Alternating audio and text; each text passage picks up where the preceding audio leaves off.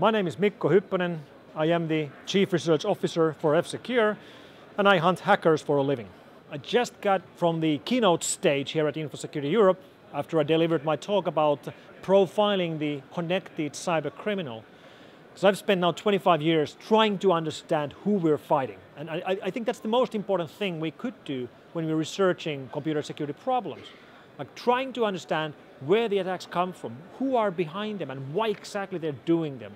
Only after we understand that, we can start building defenses against these attacks. There's been a massive shift in how governments use offensive cyber attacks to get what they want. We see attacks coming from, from militaries, from intelligence agencies, even from the law enforcement. And this is quite remarkable because it, we are really entering this, this new era. It's sort of like that we just got out of the old the previous arms race, the nuclear arms race and the Cold War, and we're going headlong into the next arms race, the cyber arms race, if you will. And this is quite different from, from anything we've seen before, because cyber arms are sort of like the perfect arms. They are effective, they are affordable, and they are deniable. And that is a great combination for militaries, and that's why we see so much action from various governments and their use of offensive cyber attacks.